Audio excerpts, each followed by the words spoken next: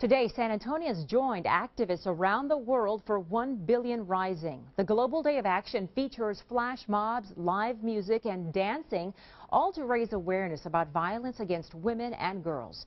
As photojournalist Katrina Gutierrez shows us, it was a lively event.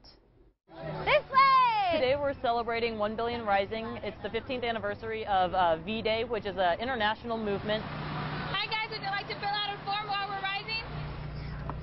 I am rising because The idea behind 1 Billion Rising is that one in three women will be abused in her lifetime. That's an atrocity. I'm rising because I'm the a right thing survivor. to do. 1 Billion Women I- Dancing is a revolution.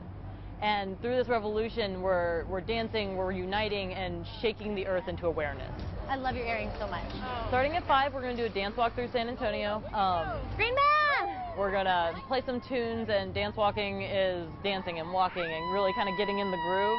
Because at 6, we're going to do a hoop jam. This is our Valentine's Day day. They're really big hula hoops, and we believe that everyone can hoop.